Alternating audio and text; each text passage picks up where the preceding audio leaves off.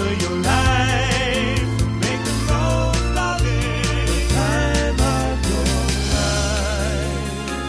life. The Time of Your Life is brought to you by Baptist Health. I'm Virginia Whitfield. And I'm Jack Galassini. Welcome to the time of your life as we get into the month of June. Unbelievable. June. Where does oh, it go? Absolutely. We're about the sixth month of 2014. I know. Isn't that amazing? Yes, it is. And the older you get, the faster it goes. Boy, you got So that right. Make the most of every Make day. Do something good for somebody every day. Every day you've got. That's right. And speaking of good things, fried green tomatoes. Whew. Those were the best I've ever had, Jack. Isn't that amazing? And not and, and- not that fattening, light. Comes from Garrett's restaurant, which is right here in Montgomery, Alabama. He's going to show you how to do them. And of course, we start thinking the operative word there is fried. Eh, you may want it, but he learns how Yeah. to do it Yep. light fry, Yep.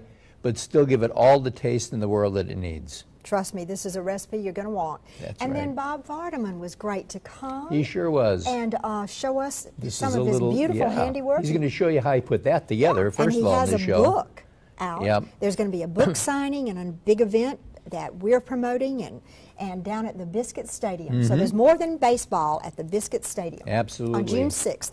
And then Brent McDonald is back again. He's going to do some making sense, uh, trying to give us some ideas on the crazy economy we're living in today.